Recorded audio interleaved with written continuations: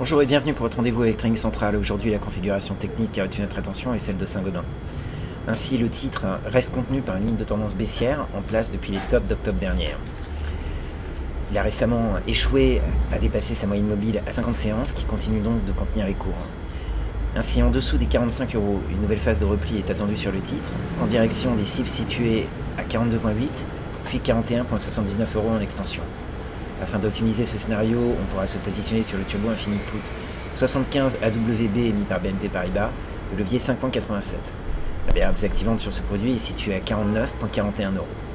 Voilà, bon trade et à demain pour un nouvel avis d'expert.